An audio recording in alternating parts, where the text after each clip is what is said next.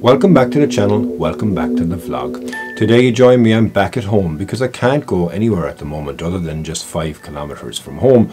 We're still in lockdown and as much as I'd love to get back to the sea, I can't get anywhere near it at the moment. Decided to, you know, have a look back in regards to something I've been thinking about for a long period of time and that is pressure.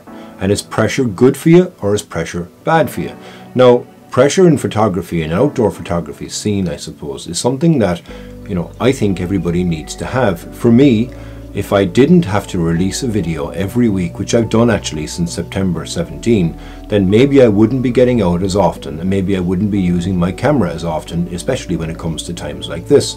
So I really want to discuss the idea is pressure. Is it good for you or is it bad for you?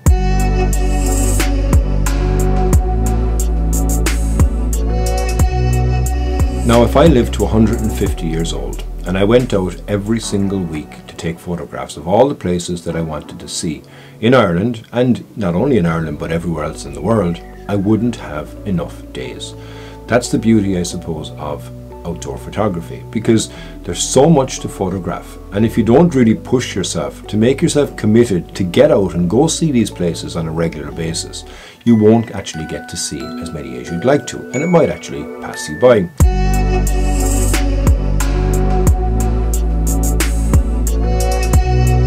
There's many friends of mine during this whole lockdown that haven't used their camera as often as they wished. And from my point of view, I haven't either, but it has forced me to become more creative and to think of different ways that I can create content for my YouTube channel. What that does in turn is it gets me to places, even though right now it's only 5 kilometers, but in the past since September, uh, September 17, I have seen a lot of places that I wouldn't ordinarily have seen if I wasn't pushing myself to get out there and get the photos.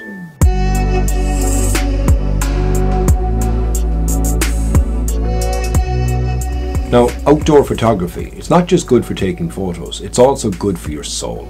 It gets you out, gets you breathing in fresh air, gets you exercise, and it actually is good for your mental health and good for your physical health as well.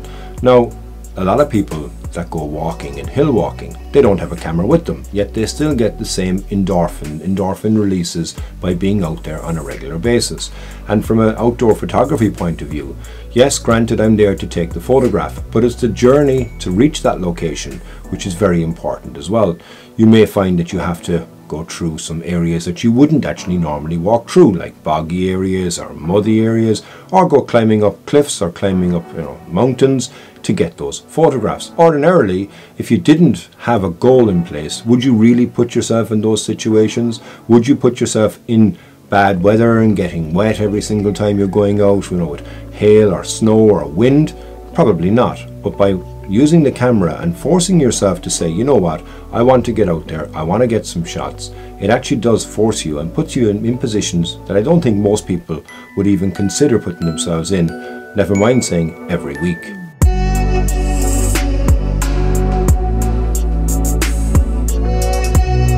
In life, it's very easy to become lazy, very easy to become lethargic, very easy to kind of be disconnected and say, you know what, I want to have a nice, easy day. As much as I like that too, there's many times that I'll actually think to myself and say, you know what, yes, you're tired, but by getting out there and getting the exercise, you actually feel more invigorated, you'll feel more connected with nature, and the bonus is that you've got your camera with you, so it enables you to get some photographs as well, so that you can then have a image of that journey or that place or those light conditions or the rain conditions or whatever it may have been but you managed to get a photograph to keep that as a physical memory as opposed to just in here which most people would do when they walk anyway and photography for me really challenges me to think differently in different conditions I'm a firm believer, and I've said before, there's no such thing as bad conditions in landscape photography, and it's still true to this day. And there's been many times that I've gone out fully covered in my wet gear, so I'm going to be perfectly dry. But I'm there, I'm chasing, I'm chasing, I'm chasing. And it's the times that it actually happens that makes it all worthwhile. But even if it didn't happen, I didn't get that amazing shot, it was still worthwhile to again to give the pressure on myself to push me to get out and create those images and create that content.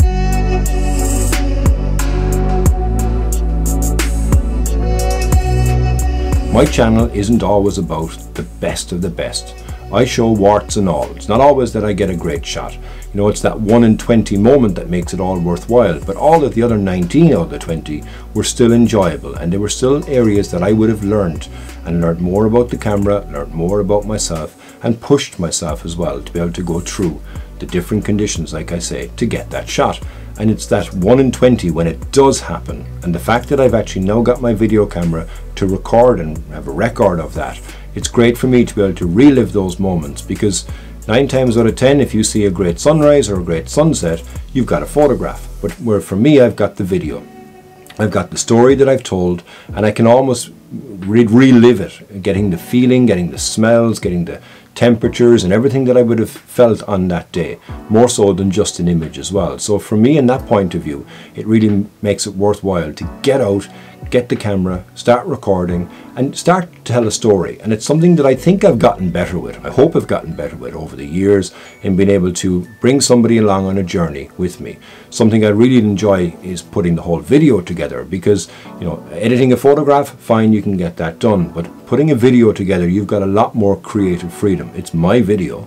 I can create whatever I want about it. I can give it a fast-paced music, I can give it a slow-paced music, I can bring in ambient sounds from the day, or I can even bring in other sound bites as well that I would have recorded that I think would create more of an immersive atmospheric uh, video. And that's the part, the part that I really, really enjoy. It's something that, like I say, I think I've gotten better with, but I'm actually thinking I'm getting better every time I go out and every time I go edit. It's a pressure that makes me improve.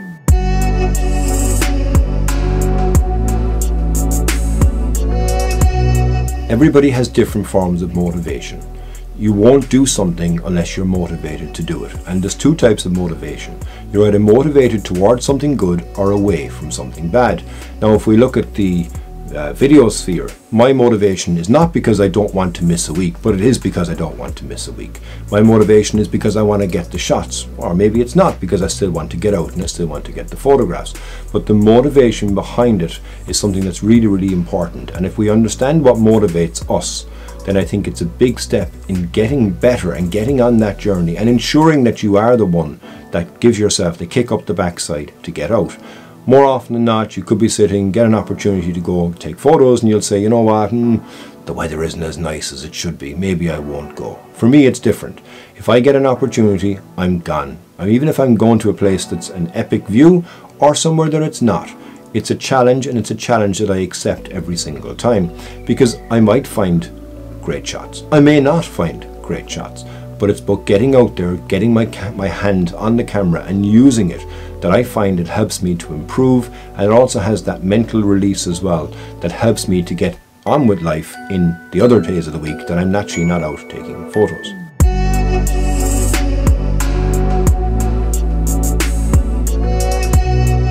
Can video get in the way of a good image? It's something I've thought about and something I've mentioned in a couple of episodes of my vlog. You know, am I a photographer or am I a filmmaker?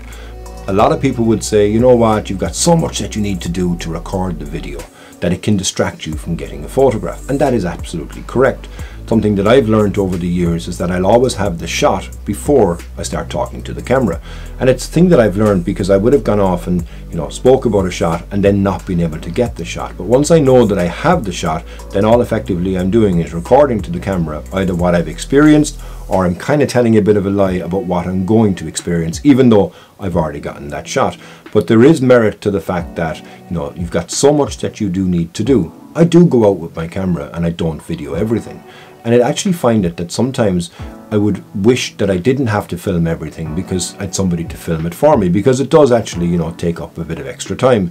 But it's like everything, the more you do something, the better you become. The more, the more you repeat something, the more it becomes part of what you do from a breathe in and breathe out point of view. So I can go and take photographs, set up my camera to take my photographs, but I've already recorded my video of every step of the way. I've kind of got that routine. So yes, it does take some time, but it doesn't really interfere with my photography. I don't think. But there could be people out there that would say and look at my images and think, you know what, yeah, who does he think he is? He's not as great as he thinks. I never say that I'm great at taking images. I do it because I enjoy it. I never once turn around and say I'm better than anybody else. I'm learning and I'm still going to learn, not only from the photography, but also from the video. But it's the very nature of pushing myself every single week to get this content for this channel that I do think it made me get better at telling the story like I say, knowing the key items to record, and obviously taking photos as well.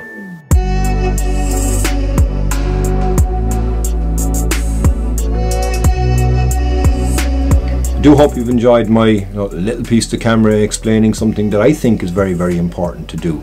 Put yourself under pressure. Get yourself out there because if you don't, you won't ever improve. You can't improve just by reading on something. You have to go and actually do that. And from my point of view, I do think that it's something that I would be very much so an advocate of.